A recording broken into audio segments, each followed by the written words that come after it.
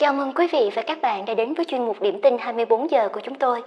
Hy vọng quý vị sẽ có được những thông tin thật hữu ích. Đừng quên like và chia sẻ để ủng hộ cho chúng tôi nhé. Và ngay sau đây, mời quý vị và các bạn cùng đến với phần tin chi tiết.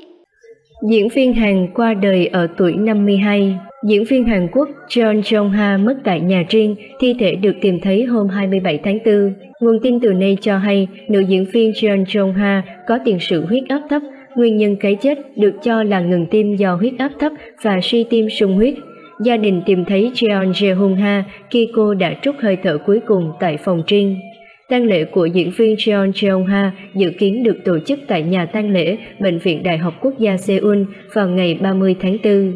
Jeon Jeong Ha sinh năm 1969 đã tham gia diễn xuất từ thập niên 1990 và xuất hiện trong nhiều phim điện ảnh lẫn phim truyền hình.